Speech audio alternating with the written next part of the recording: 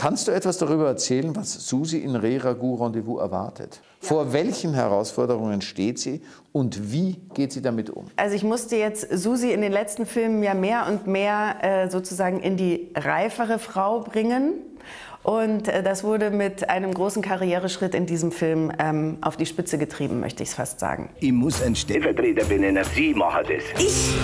Wir können jetzt den Männern zeigen, wo der Rubel hängt. Super. Franz? Ja, mei, ich weiß auch nicht. Wenn die Frau karrieremäßig an dem Mann vorbeizieht, dann ist der Eheofen aus. Vor welchen Herausforderungen steht denn deine Figur in unserem Film, Rudi Böckenberger? Der wird gerne weggedrängt und nach hinten gestellt. In die Unsichtbarkeit. Rudi steht vor vielen Herausforderungen in diesem Film in Re Ragout, nämlich vor den gleichen Herausforderungen wie in den anderen Eberhofer-Filmen auch. Er kämpft um die Liebe von Franz. Er kämpft um die Liebe von Franz, so ist es. Und äh, um die Aufmerksamkeit und die Liebe von Franz. Also da hat sich eigentlich nichts verändert. Zwei, drei, vier. Fähnlein, nicht so langsam! Stürze mal Gang, hoch! Du kannst ja gar nicht wissen, ob das das Ohr vom Steckenbiller ist. Sag mal, hast du dem da unbedingt Bescheid geben müssen? Naja. Über Anwesende spricht man nicht in der dritten Person. Was hat er denn schon wieder, der Rudi? Der hat bloß Angst, dass er seine Belohnung nicht kriegt. Was habe ich gerade gesagt? Stichwort dritte Person. Jetzt machen wir den achten Film, siebten Film. Den neunten. Es fühlt sich an wie der siebte mit dir. Wirklich. Was gut ist. Nicht schlecht. Es ist doch so, dass wir etwas tun, wo wir sehr verletzlich sind in Wirklichkeit, auch wenn wir gut darüber spielen. Aber die Mehrheit äh, der Kollegen und Kolleginnen ist so. Die ganzen Psychopathen, die Neurotiker sind und, und, und, und, und Narzissten sind, bei denen ist es wieder anders, aber das hat einen anderen Grund. Äh, aber bei denen, die halbwegs normal äh, oder ja, was ist normal, aber die halt eher so denken wie wir. Bei denen ist es doch so, dass sie einfach mit viel Angst mal an, an, an ein Set kommen und mit viel Angst an den ersten Drehtag rangehen, nicht schlafen können und nicht wissen, was kommt auf sie zu. Und wenn dann alle rundherum, wenn man alle rundherum schon kennt, mehr oder weniger, und vor allem die Kolleginnen und, äh, und Kollegen äh, kennt, dann ist das angenehmer. Und mit dem Sebastian und mit dir finde ich äh, seit vielen Jahren es sehr familiär, oder? Das können wir doch so sagen. Was machst du da für einen Aufriss? Muss das sein? Du, äh, stell dir vor, mein kleiner Vermisstenfall hat eine spektakuläre Wendung genommen. Ja, und zwar in Richtung Kapitalverbrechen. Ja. Dem Franz ist ein Ohr zugeflogen. Und das könnte das Ohr vom Steckenbiller sein. Franz, ich versuche gerade den Unique Sailing Point von Niederkaltenkirchen zu finden. Und du veranstaltest da ein Riesenbrimbamborium wegen einem einzigen Ohr. Ich hab's ihm eh gesagt. Noch ein Wort und ich verweise Sie des Tatorts. Wo so ein Ohrwaschel ist, ist meistens noch mehr. Ja. Ja, aber vielleicht gibt es auch eine ganz unspektakuläre Erklärung, warum hier so ein Ohr herumliegt. Ja, und zwar die, dass der Rest von den Menschen da irgendwo rumflagt. Ja, aber vielleicht ist es auch was ganz Alltägliches. Zum Beispiel Dings. Hä? Zum Beispiel, es ist ein rechter Schmarrn, was du hier veranstaltest. Ja, meine, der Susi, die da ganz schön feier unterm Arsch, ha? Mhm. Wenn du nicht aufpasst, dann hast du bei dir bald nichts mehr zum Melden.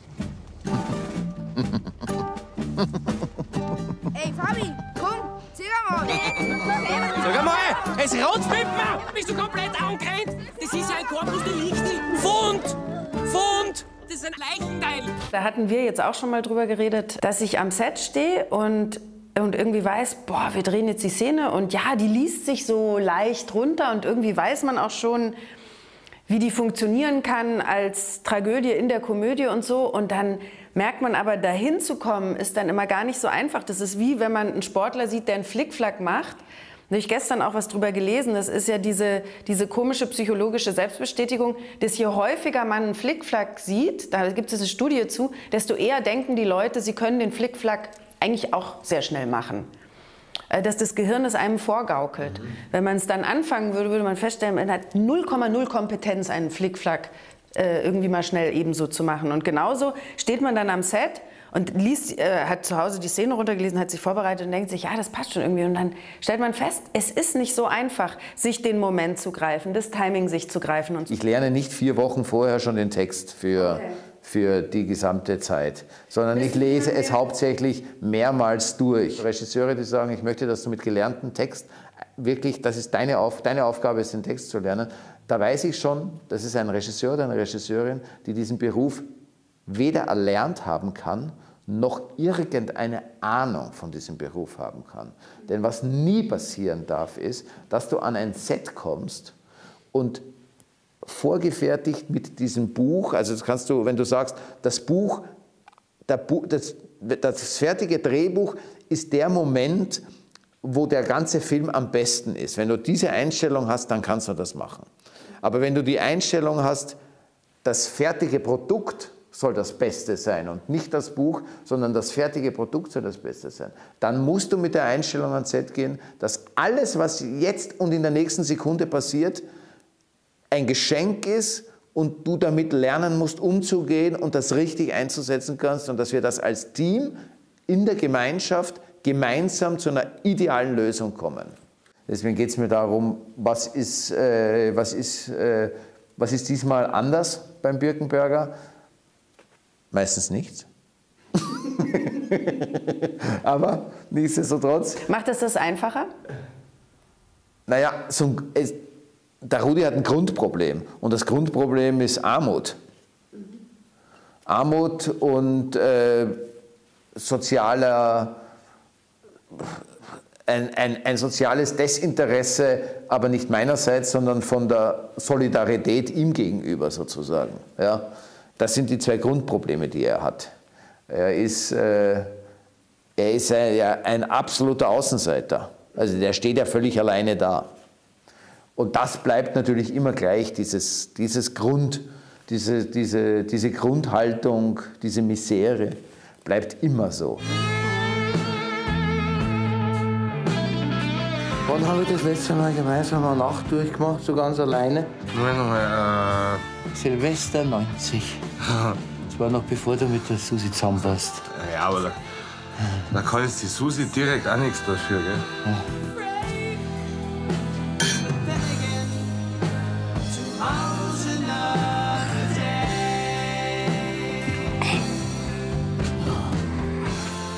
Es ist schön, wenn man wen hat, mit dem man alt werden kann. Warum kann ich nicht deine Susi sein? Hey.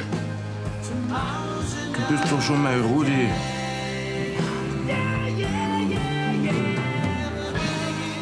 Er wird immer zu wenig Geld haben, er wird immer alleine sein, mehr oder weniger, oder immer enttäuscht sein und immer irgendwie das Gefühl haben, er wird nicht ernst genommen. Das bleibt, das hat er einfach so. Äh, insofern da muss ich mich nicht mehr, da, da, weiß ich, was auf mich zukommt.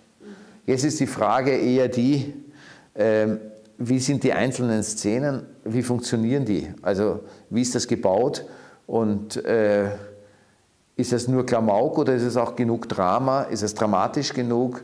Ist es, äh, kann man in die lustige Szene, kann man genug Ernsthaftigkeit von der Emotion, also von dem, du weißt wahrscheinlich, was ich meine, aber ich weiß nicht, ob der Zuseher das oder die, die Zuschauerin das, äh, das versteht.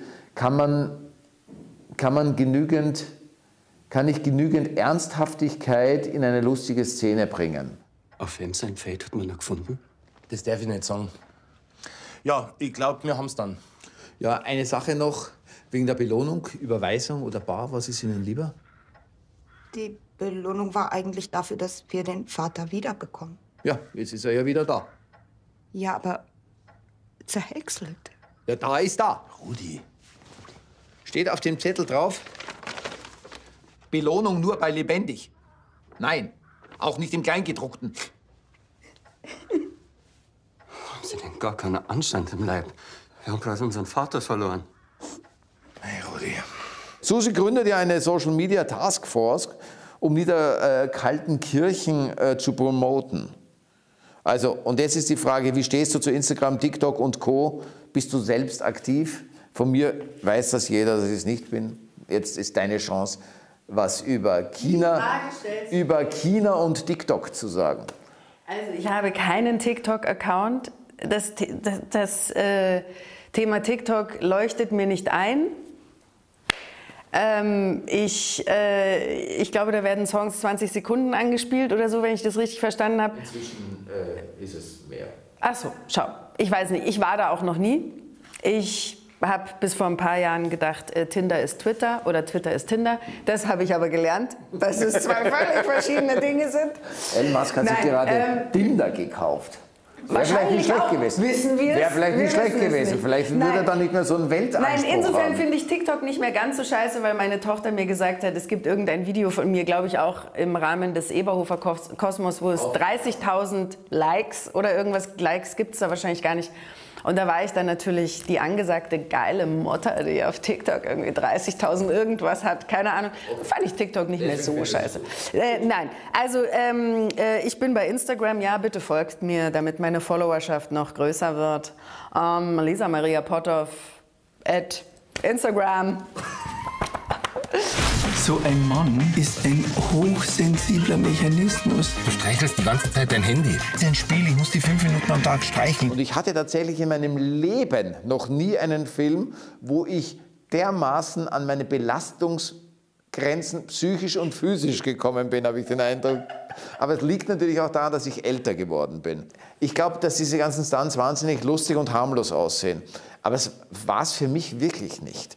Also ich fand zum Beispiel auch eine Be- Beinschere von der Judokerin sozusagen auch nicht lustig, klar, fand ich auch lustig, aber jetzt auch nicht eine Selbstverständlichkeit zu sagen, das ist jetzt das Angenehmste, was ich mir vorstellen kann.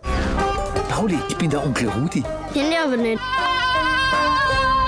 Wie gefällt dir das, du kleiner Perry-Asling? Auf geht's. Bitte nicht in die Güllegrube! Sag dir einfach, es wäre Fango.